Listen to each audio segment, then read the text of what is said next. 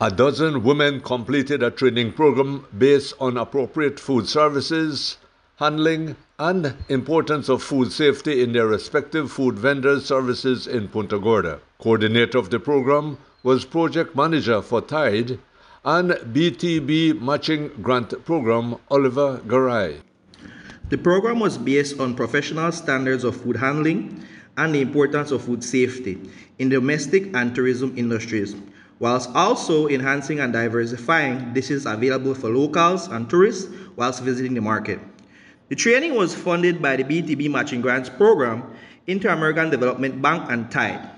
The graduates will be receiving their food handler certificate from the Ministry of Health and Wellness.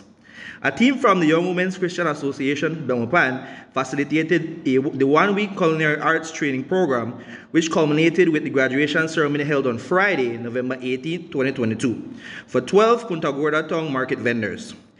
On behalf of the participants during closing ceremony, Emerita Alegre expressed words of gratitude to guest speakers, Prime Minister Honorable John Briceño, and TIDE Executive Director Celia Mahung, the Training Program Funding Agency, training facilitators, and organizers of the one week culinary arts training program, which has equipped the one dozen women with relevant knowledge and skills in providing efficient and healthy food services to Toledo inhabitants and visitors as food vendors at PG Market area.